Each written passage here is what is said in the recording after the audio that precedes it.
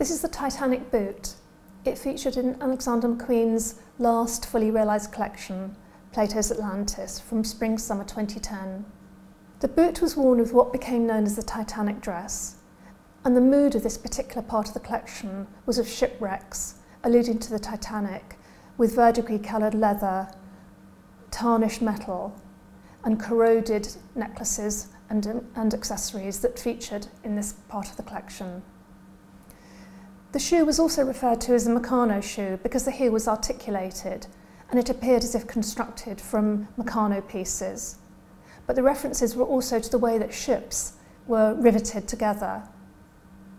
And it's this kind of detailing that makes McQueen stand out.